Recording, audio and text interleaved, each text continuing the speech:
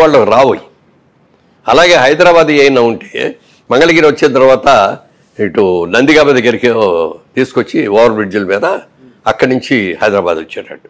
కలకత్తా వెళ్ళాల్సి అయినా ఉంటే నందిగామ దగ్గర కంచికి చెర్ల దగ్గర బ్రిడ్జి మొదలుపెట్టి డైవర్స్ రింగ్ రోడ్ లాగా చేసి కనవరం ఎయిర్పోర్ట్ దగ్గర దాటిన తర్వాత కలపాలి ఇవన్నీ కూడా పెట్టేస్తే ఏముందంటే సిటీలో ట్రాఫిక్ తగ్గుద్ది. అవునండి. ఈ కమర్షియల్ లారీస్ అన్నీ కూడా రావు. ఓన్లీ ఇంటర్నల్గా ఉండే కార్లు ఇంటర్నల్గా ఉండే బస్సులే ఉంటాయి. ఇది దాంతో ఏదంటే మనకి ఇది కూడా బాగుంటుంది. వాతావరణం బాగుంటుంది పొల్యూషన్ తక్కువ ఉంటుంది ప్రమాణం ఇవన్నీ ప్లాన్ చేశాడు ఆయన.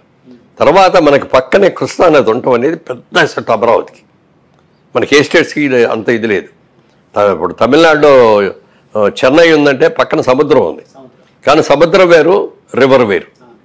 సముద్ర వాటర్ని మనం పెద్దగా ఏం ఉపయోగించుకోలేము అంటే ఫిషింగ్ బిజినెస్లో అయ్యి అవి వస్తాయి కానీ తాగునీటి అవసరాలకు పనికిరాదు. పనికిరాదు. అలాగే పంటలకు కూడా పనికిరాదు. పంటలకు కూడా పనికిరాదు. అదే మీరు ఇప్పుడు కృష్ణా నది బ్యారేజ్ ఉంది కదా ఇంకో బ్యారేజ్ కడదామని ప్లాన్ చేశారు. ప్లాన్ చేశారా సార్? ఆ, ప్లాన్ చేశారు. ఆ బ్యారేజ్ ఈ బ్యారేజ్ మధ్యలో వాటర్ స్టోర్ చేసి ఓకే. వీటిలన్నిటి కూడా కాలువల ద్వారా అమరావతి చుట్టూ లోపల ఎక్కడ ఎక్కడ కాలువలు. మ్హూ. పెట్టి సాటిపోయిన మళ్ళీ అందమైన ఐకాన్ బ్రిడ్జెస్. మన ఇటలీ లాగా రోమ్ లాగా Rome water city. Water city అవును అవును. అలాగా దీన్ని చేయడానికి అన్ని ప్లాన్లు చేశారు. ఒక క్యాపిటల్ సిటీ ఎలా ఉండాలనే దాని మీద ఆయనకున్న అవగాహన ఇంత అంత కదండి. ఎంతమందికి అట్లా అమరావతిని సెలెక్ట్ చేయటం ఏమో గొప్ప అయితే అమరావతిలో ఎలాంటి క్యాపిటల్ కట్టాలి అనే దాని మీద జపాన్ వాళ్ళని పిలిచారు సింగపూర్ వాళ్ళని పిలిచారు మలేషియా వాళ్ళని పిలిచారు. ఇంకా ఎవరైనా ప్లాన్స్ ఉంటే ఇవ్వండి అన్నారు. ఒక సంవత్సరం one and half years plans file చేయడానికి పడుతుంది. ఎప్పుడు కూడా ప్లాన్స్ తయారు చేసేటప్పుడు తప్పుగా తయారు చేస్తే ఆ తర్వాత మీరు ఎంత చేసినా ఉపయోగం ఉండదు. అవునండి. ప్లానింగ్లో ఎక్కువ టైం తీసుకోవాలి. అంత ఎక్కువ టైం తీసుకున్నాడు వాళ్ళందరి సహకారం తీసుకున్నాడు తీసుకున్న బ్రహ్మాండమైన క్యాపిటల్ కట్టడానికి చేస్తే పాప అంతమంది రైతులు వాళ్ళు ఏమీ తీసుకోకుండా అన్ని ల్యాండ్లు ఇస్తే వాళ్ళందరినీ నానా కష్టాలు పెట్టేశారు. అమరావతి డెవలప్ చేస్తే చంద్రబాబు నాయుడికి పేరు వస్తుంది కానీ నాకేం వస్తుంది అనుకున్నాడు. మూడు రాజధానులు అని చెప్పి వైజాగ్లో పెడతాను నేను. ఇక్కడేమో ఊరిని శాసనసభ క్యాపిటల్ అని పెడతాను. లేకపోతే కర్నూలులోనేమో. న్యాయరాజధాని అని పెడతాను అని చెప్పి మూడు అవసరం అండి. ఓ చిన్న రాష్ట్రం అంది. తెలంగాణ నుంచి విడిపోయిన తర్వాత మన రాష్ట్రం చాలా చిన్నది. ఈ చిన్న రాష్ట్రాన్ని మూడు క్యాపిటల్స్ కావాలా? మీరు వైజాగ్లో మీరు జనరల్ క్యాపిటల్ అంతా అక్కడ పెడితే మన రాయలసీమ నుంచి వచ్చే వాళ్ళకి ఎంత దూరం అండి? ఎన్ని గంటల ప్రయాణం చేస్తే అక్కడ జరగలుగుతారు? క్యాపిటల్ ఇది. క్యాపిటల్ అంటే అమరావతి ఎక్కడికి వెళ్ళాలన్నా? అటు వైజాగ్ శ్రీకాకుళం వెళ్ళాలన్నా లేకపోతే ఇటు కర్నూ కడప కర్నూలు అనంతపూర్ వెళ్ళాలన్నా లేకపోతే ఇంకెక్కడైనా అందరికీ సెంటర్ పాయింట్ అది. ఆరేడు గంటల్లో వచ్చేయచ్చు అక్కడికి. జగన్మోహన్ రెడ్డి గారు మూడు రాజధానులు అన్నారు. దాన్ని వ్యతిరేకిస్తూ ఆంధ్ర ప్రజలు. ఒక మ్యాండేట్ ఇచ్చి దాన్ని పార్టీని ఓడించారు అన్నట్టు భావించచ్చా అండి? వాళ్ళు కూడా ఓడించారు. అంటే ఏదో అంటారే ఏదో సాగుకి వెయ్యి కారణాలు లక్ష కారణాలు అంటారు ఏదో కన్నుడి జావుకి లక్ష కారణాలు అంటారు. కారణాలే. అలా వాళ్ళు జగన్మోహన్ రెడ్డి గారు ఎంత ఘోరంగా ఓడిపోవడానికి అన్ని కారణాలు చాలా కారణాలు ఉన్నాయి. మ్హూ. కుసి కసి కదండి. రైతులు తీసుకోండి. రైతుల గురించి ఎవడు పట్టించుకున్నాండి మేము ఏదో అది ఇచ్చాం ఇది ఇచ్చాం అంటారు. వరదలు వచ్చి ఇది చేస్తే వెళ్ళాడు లేరు. అక్కడ ఉన్న మినిస్టర్లు కూడా వెళ్ళాడు లేరు. పంటలకు సరైన డబ్బులు తిరిగి ఇచ్చిన లేరు. పంట పోతే సగం ఇదైపోతే. తర్వాత వీటన్నిటికంటే మించింది ఏంటంటే మీ ల్యాండ్లన్నీ కూడా మీ పేరున ఉండవు. మేము ల్యాండ్ టైటిలింగ్ యాక్ట్. ఆ, యాక్ట్ ద్వారా మేము మా దగ్గర డాక్యుమెంట్స్ అన్ని మా దగ్గర పెట్టుకుంటాం మీకు కాపీ ఇస్తాం. దాని మీద మనకి పట్టా పాస్ పుస్తకం అంటే ఏంటంటే గవర్నమెంట్ ముద్ర ఉంటుంది. అవునండి. గవర్నమెంట్ ముద్ర మధ్యలో ఉండి రావాలి. దాని మీద ఆయన ఫోటో ఎందుకండి? పాస్పోర్ట్ కావాలంటే పాస్పోర్ట్ మీద ఆయన ఫోటో ఏంటి? ఎంతకాలం ఉంటాడు ఆయన? కలకాలం ఆయనే ఉంటాడా? రియల్ డాక్యుమెంట్ అనేది ఒక ఇది దస్తావేజ్ అనేది లాంగ్. మన మన తరం కాకుండా నెక్స్ట్ తరం ఆ తరం కూడా వెళ్తాయి. మన డాక్యుమెంట్స్ తీయాలంటే మూడు తరాలు తీయచ్చు మనం. అవునండి లింక్ ఈ బొమ్మ ఏంటండి? ఎప్పుడైతే దీని మీద మీకు అధికారం ఉండదో మా అధికారంలోనే ఉంటుంది. ఈ కాపీలు ఇస్తా ఉన్న దాని మీద రైతులు బాగా వ్యతిరేకమై ఎదురు తిరిగారండి. యాక్చువల్గా ఇదే మాటని నేను ఒక అంటే ఎదురు తిరిగారంటే ఎక్కడ గొడవలు చేయాలా ఎక్కడ అల్లరి చేయాలా ఎక్కడ దాని గురించి మాట్లాడాలా? లోపల లోపల పెట్టుకొని దీనికి సరైన గుణపాఠం చెప్పాలి అన్నారు సార్ ఇదే మాటని నేను ఒక వైసీపీ నాయకురాలతో వంగగీత గారితో ఇంటర్వ్యూ చేసినప్పుడు అడిగానండి. అంటే ఎవరైనా ఈ ఎలక్షన్ మూమెంట్లో పాజిటివిటీ పెంచుకోవడానికి ట్రై చేస్తారు కానీ నెగిటివిటీ పెంచుకోవడానికి ట్రై చేయరు కదా. మీరు ల్యాండ్ టైటిల్ యాక్ట్ అనేది ఈ సమయంలో ఎందుకు తీసుకుని వచ్చారు అని అడిగాను. అడిగితే ఆవిడ ఇచ్చిన సమాధానం ఏంటంటే ఇది మేము తీసుకుని వచ్చింది కాదు సెంట్రల్ గవర్నమెంట్ మోదీ గారు గవర్నమెంట్ పెట్టింది అని అన్నారు. కానీ మోదీ గారి గవర్నమెంట్ పెట్టినప్పుడు రాష్ట్ర అధినేత అంటే ఏ రాష్ట్రాలకి రాష్ట్ర చెప్పాలి కదా? అది మీరు తప్పు చేస్తున్నారండి మా మా రాష్ట్రంలో మేము అమలు చేయవండి ఇది అని చెప్పుకోవాలి కదా. మోడీ గారు పెట్టింది కాదు సెంట్రల్ గవర్నమెంట్ పెట్టింది అంతకంటే కాదు ఇది. ఇది వీళ్ళు పెట్టింది. వీళ్ళు పెట్టింది అండి సో ఆ సెంటిమెంట్ బలంగా ఉందని భావించారు రైతులు ఎప్పుడు కూడా రైతులు అంటే మిగిలిన వాళ్ళలాగా యాజిటేషన్ చేయటం హర్తాళు చేయటం ఆపేయటం ఇవన్నీ చేయలేరు వాళ్ళు. అయితే ఇంట్లో నుంచి పొలానికి వెళ్ళటం పంట పండించుకొని తీసుకురావటం సవ్యంగా పంట పడితే అది జాగ్రత్తగా. అమరావతిలో నాలుగైదేళ్ళుగా చేస్తున్నారు కదండి ఆయన యాజిటేషన్. అంటే మొత్తం అన్ని పక్కన పెట్టి కూడానా ఉమ్. అమరావతి రాజధాని రైతులు. దాన్ని అంటే ఒక రకమైన సెంటిమెంటల్ దాంతో చేస్తున్నారు కదా. అసలు ఎంత కడుపు మండిపోయింది వాళ్ళకి మాకేంటి అసలు ఇది?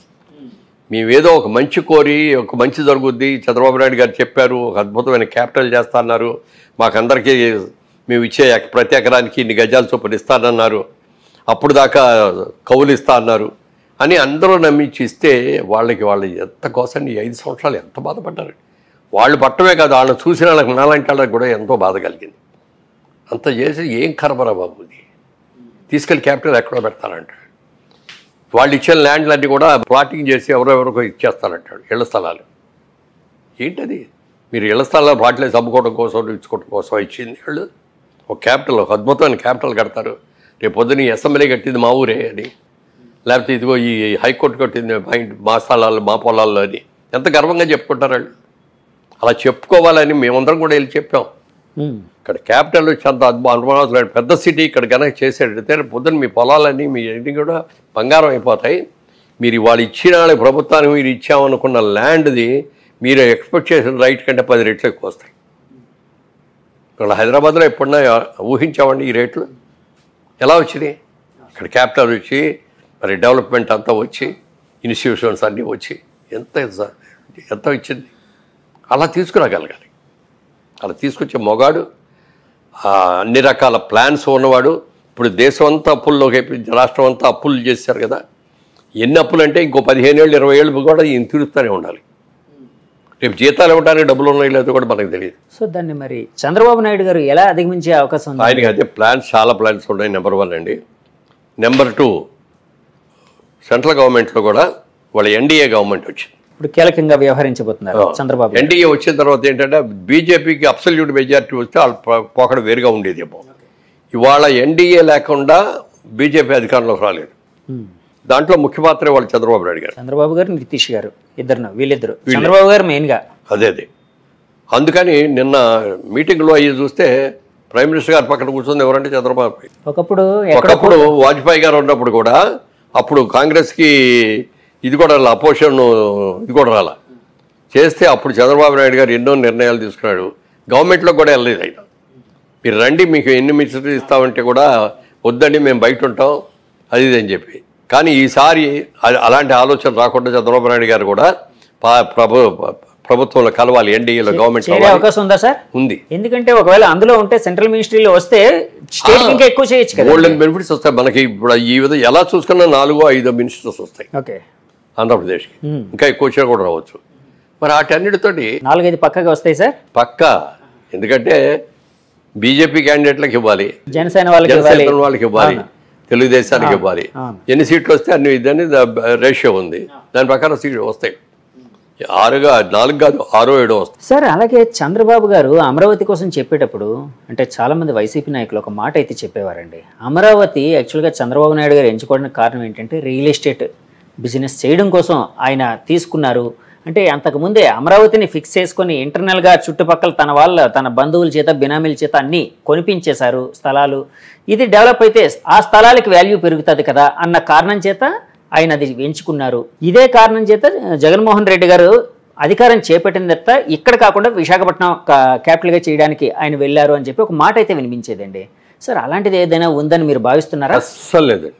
మాకెవరికి కూడా అమరావతి ఫైనల్స్ అవుతుందనే సంగతి మాకు తెలియదు మేము ఎవరు కూడా అక్కడికి వెళ్ళి పొలాలు కొనుక్కోలేదు సుజనా చౌదరి గారు మూడు వందలు కొన్నారు నేను ఏదో నూట యాభై ఎకరాలు కొన్నాను ఇంకోటి ఎవరో ఇది కొన్నారని ఆఖరికి మన జస్టిస్ చీఫ్ జస్టిస్ చేసిన రమణ గారి ఫ్యామిలీ వాళ్ళు ఎంతో కొన్నారని ఎన్ని ఎన్ని అవి వచ్చినాయో తెలియదు మాకు ఎవ్వరికి అక్కడ సెంటు నేల లేదండి మాకు. మీకేం లేదు ఒక ప్రాజెక్ట్ చేసాం మేము. మెయిన్ రోడ్డు మీద అమరావతి ద క్యాపిటల్ అని. దానికి కూడా అది మేము కొన్న ల్యాండ్ కాదు. ఆ ల్యాండ్ ఓనర్తో మేము ఇది చేసుకొని జాయింట్ డెవలప్మెంట్ చేసింది అది అంతగా తప్ప ఎక్కడ మాకు గజం స్థలం కూడా లేదు నాకు ఎక్కడ. ఒకవేళ ఉందే అనుకుందాం వాళ్ళు అన్నట్టు. నా వ్యాపారం అది. నా వ్యాపారం రియల్ ఎస్టేట్ ఫ్యూచర్లో డెవలప్మెంట్ ఎక్కడ వస్తుందో చూసి అక్కడ కొనుక్కుంటాం. అది? అది? విజన్ అండి. నా దగ్గరకు వచ్చి నా దగ్గరకు వచ్చే కస్టమర్కి బెనిఫిట్ పెరగాలి అంటే ఒక అభివృద్ధి ప్రదేశంలో నేను కట్టాను అనుకోండి వాళ్ళ కొనుక్కున్న వాళ్ళందరికీ ఒకటి నాలుగు రెట్లు పెరుగుతాయి కదా. వాళ్ళందరూ బెనిఫిట్